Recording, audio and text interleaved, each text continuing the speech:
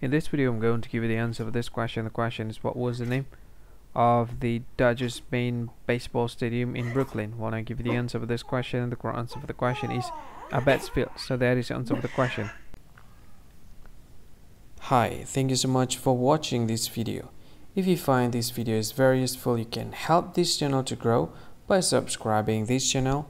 Please this subscribe button and don't forget to like this video.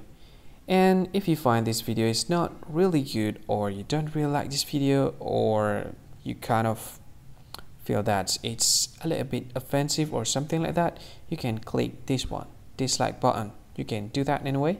And if you want to share this video with your friend, you can share it by clicking this share button and you can share it to any any social media that you wish that is currently available at this time like Facebook, Twitter, LinkedIn, and many others.